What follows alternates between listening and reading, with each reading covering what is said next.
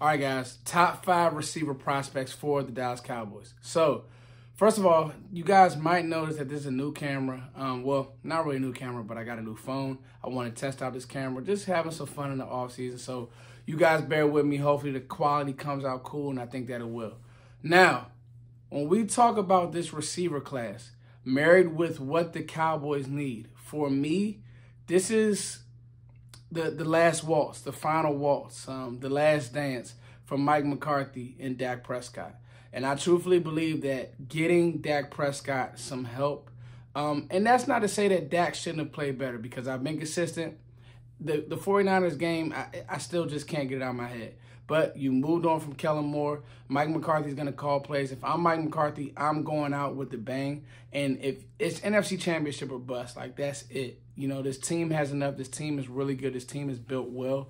And I think the Cowboys do need to kind of circle the wagon when it comes to receiver.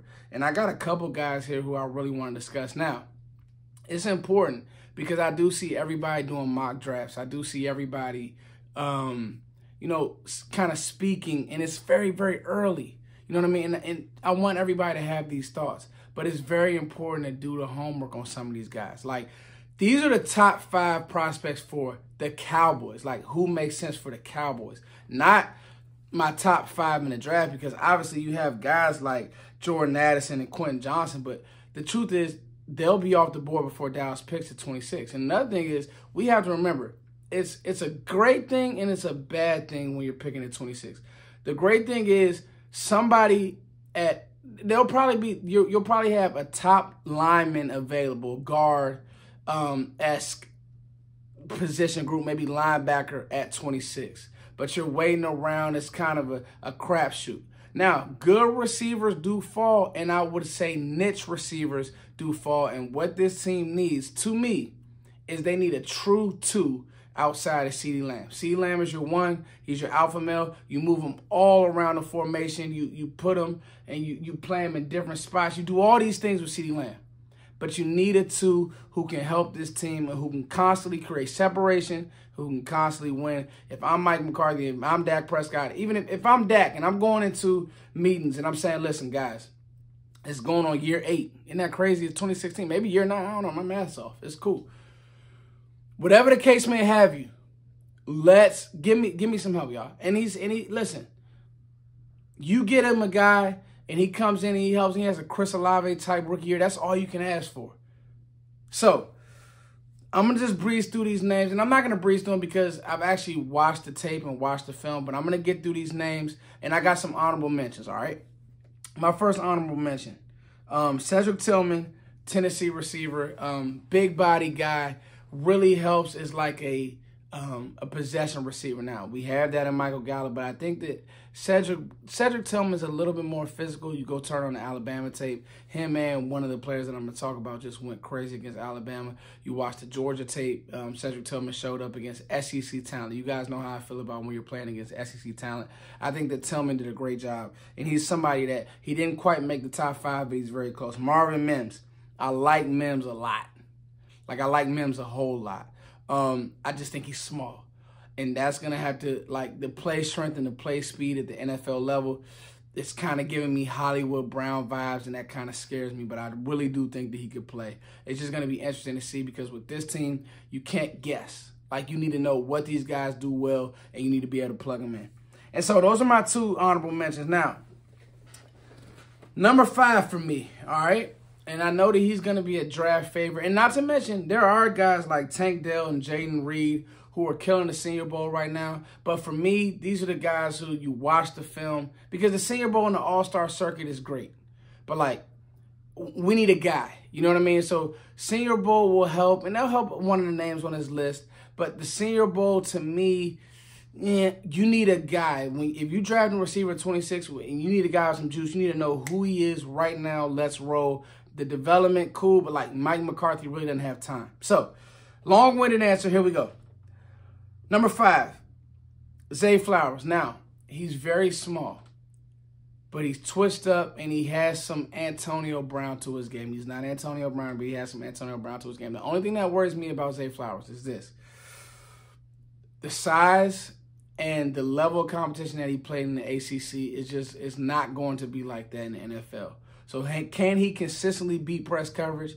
Can he play over the middle of the field? He's a great route runner. I like his play strength. I don't love his play strength, but I think that he is somebody who, opposite of CeeDee Lamb, maybe you throw him in a slot. See, because these guys are going to have to win on the edge and inside because of what you do with CeeDee Lamb. And it's like whoever, even with Mike McCarthy calling plays, they're going to have some of the same rudimentary, rudimentary, that might not even be a word. They're going to have some of the same rudimentary value in what they do with CeeDee Lamb and moving him around the formation. So the other guy, your two, your Y, your X, whatever you want to call him, your your your your Robin, he's gonna have to be able to play different positions. I think that Zay Flowers has the route running ability. I just don't know how well he'll be able to do day one on the edge. I think he'll play in a slot, but on the edge, it's kind of scary for me.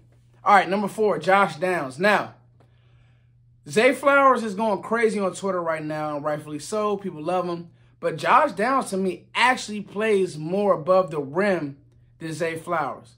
All right, so him and Drake Maye had a really nice connection, quarterback from UNC, um, really good player. And I think that Downs has a little bit more juice to his game, like a little bit more Odell to his game. Go up, climb the ladder. Now, he's not a big guy either. And that's what scares me. Like, Downs is really only 170. But the way he plays, he plays above the rim. He's physical. Um, not uber physical, but physical enough. And I like Downs. And I think that actually he probably would play better on the outside than Flowers. I could be wrong, but just his ability to high point the ball, um, strong hands, I really like um, um, Josh um, Josh Downs a lot. Now, number three, and, and this is my guy. All right, Rashee Rice, um, SMU receiver, is he just has it. Like he he doesn't separate well, but he separates well enough he can play on the edge, but he has this great YAC ability. I called him a, a poor man CeeDee Lamb. You watched the Maryland tape, and I watched that game live. Y'all know I'm from the DMV. And he just kept making play after play. Like, who was 11? Who is this guy? He's showing up at the Senior Bowl. Um, He's doing some nice things. Now, in one-on-ones, he's not going to wow you.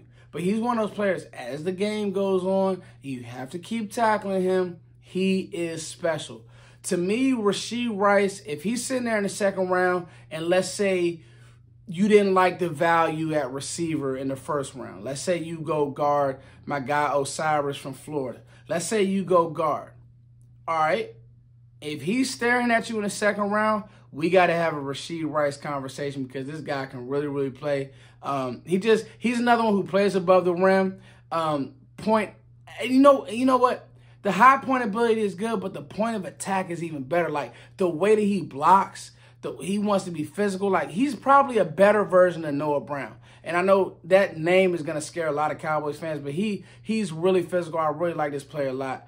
Rashee Rice is somebody that, as the process goes on, the 40 time will be interesting, but as the process goes on, keep an eye on Rashee Rice. All right, guys. Number two, we're getting down to the nitty gritty Jaxon Smith-Njigba. Ohio State receivers are always going to be up here for me. Number one, they just made him the OC. Brian Hartline is the man. When it comes to having his guys ready to go, Hartline is second to none. They come in the league, they're clean. Look at Chris Olave. Look at all these Ohio Ohio State receivers who've come in the league and just play clean football. That's what you would need out of a Jaxon Smith and And I think he has it. Now, what are people going to say? He's not fast. To me, he's fast enough. To me, he separates enough. He's Keenan Allen. At the top of the route, he's going to give you a move and he's going to separate. Like, that's what he does. He's not going to run away from you and YAC. He's not going to be a big YAC guy, but he can high point the ball. He has smooth hands. The only issue to me would kind of be the injury situation, but I don't even know if he if he was really hurt or if it's kind of he was milking it or kind of he knew he was going to be a pro. So that's something to keep in mind. But to me, Jaxon Smith-Njigba is – the man. Like he's not Marvin Harrison Jr. good, but he's really good, and I think he will serve as a really good Robin, and he will continue to get better in the league. Like he comes in pro ready, but I think he will continue to get better in the league, and he can consistently be the two. I'm gonna tell you that now, and you can move him to slot. He he's gonna be ready to go day one because of the coaching that he got at Ohio State. Brian Hartline, I'm telling you, I swear by him. That's why they made. That's why Ryan Day made him the offensive coordinator because if not, he was going to lose Hartline. So I really like Jaxon Smith-Njigba. That's my number two receiver. And number one, you guys are going to hear me say his name throughout the whole draft process Jalin freaking Hyatt. Sign me up. Okay, so what I'm hearing and what I see is one trick pony. He can only run one route. I don't I don't I don't like this. He can only run one route situation because that's what Dallas needs. They need somebody who can stretch the field. Give me skinny posts. Give me nine. Let CeeDee work underneath. I'm cool. Like, he is going to run past a number two corner all game. Can he be pressed? Well, let me ask you this. If you try to jam him and you miss, he's going to run right past you. And the difference between him and guys like Henry Ruggs, even Jaylen Waddle, he has better hands than those. He like I think that people think of Hyatt as a speed guy because they watch that Tennessee film and you see these guys splits when they're in like 3 by one or 2 by one 11 personnel. These guys splits are outside the numbers and they're going super fast. Like that's what Josh Heupel wanted to do. He wanted to play fast. He wanted to play NASCAR. He didn't want to um, um, overcomplicate things. So somebody hit me on Twitter. They said, well, Fuss, he was schemed open.